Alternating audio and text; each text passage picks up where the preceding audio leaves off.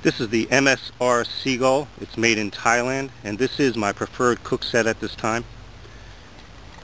As you can hear, no sound coming from this and that's because of the way I have this set up.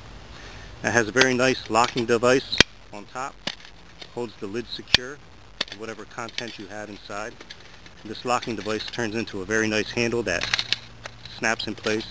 Very secure.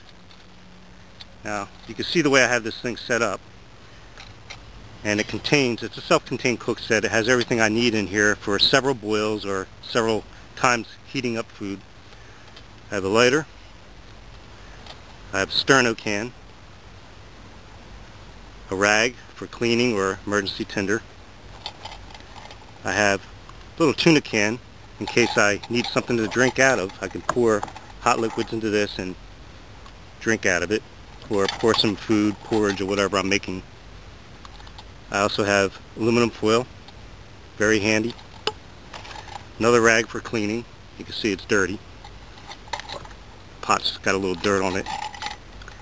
A sponge, another item for cleaning. A little bit of birch bark tucks in there nicely and easily. Trioxane tablet, another piece of aluminum foil. Now the dimensions of the pot are 2 inches deep, it's 5 inches across, the handle is five and a half inches long and if you fill it to the brim with water it holds two cups of water. Now I'm going to show you something else I like about this pot.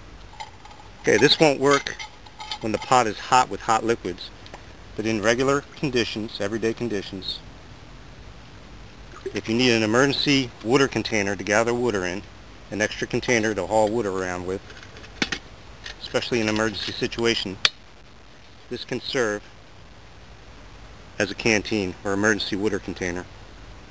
Alright, you see it's not dripping a bunch of water out. You will get a couple drops, but if you needed to collect extra water, you stop to collect water, fill this up along with your canteen or your water containers, and there you go. You have something else to carry extra water in.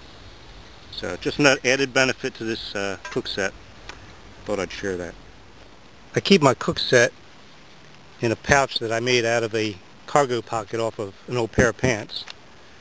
And of course I keep that kit inside of a dry bag for when I'm out kayaking or if I'm in the rain. I don't have to worry about my cook set or my tinder that goes along with my cook set getting wet.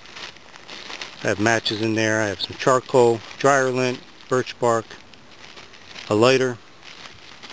So I'm pretty well set up for a good little cookout here. And it's been on five minutes and you can see that trioxane tablet really gets it going quick. It's ready to boil.